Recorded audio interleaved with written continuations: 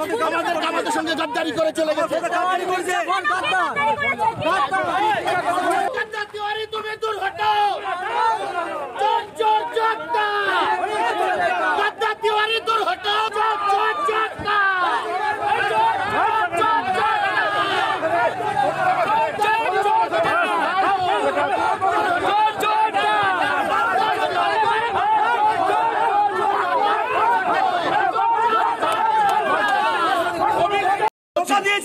ও আমার দিয়েছে। সাধারণ মানুষ হিসেবে তৃণমূল কর্মী হিসেবে প্রতিবাদ করছে।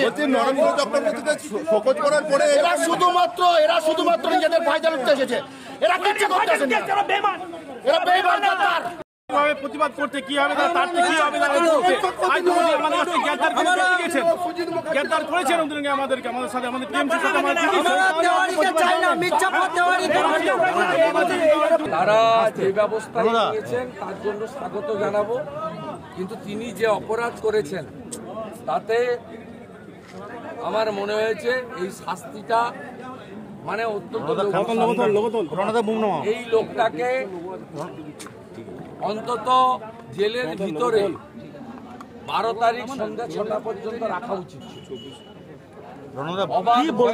পরিবেশে নির্বাচনের জন্য।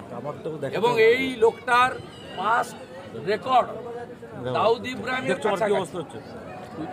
পিস্তল সহ ধরা পড়েছে এবং সেটাই লাইসেন্স নেই জেল খেটেছে। এই রকম লোকজন অবাধ সুস্থ গণতান্ত্রিক পরিবেশে ভোটের ক্ষেত্রে পরিপন্থী।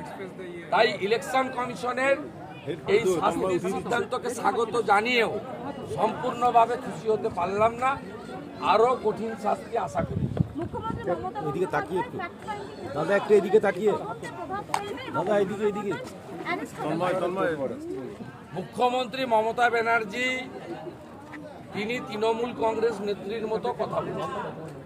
তিনি রাজ্যের নেত্রীর মতো মুখ্যমন্ত্রীর মতো প্রশাসনিক কর্ত্রীর মতো কথা বললে তিনি সিবিআই তদন্তকে স্বাগত জানাতেন।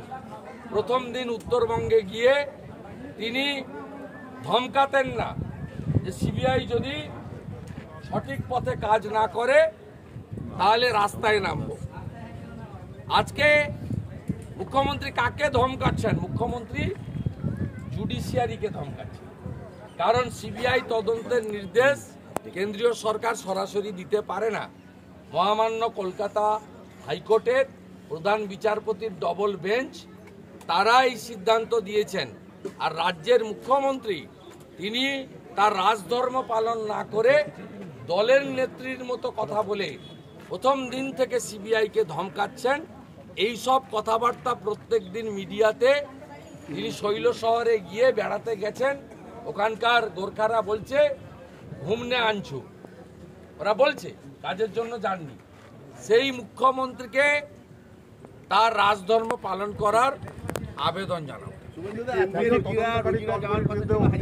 মমতা ব্যানার্জি এমন এক চিঠি লিখেছেন গতকালকে এবং তিনি তো ওনার চিঠির কোনো আজ তাক বাংলা জানুন সব খবর সবার আগে।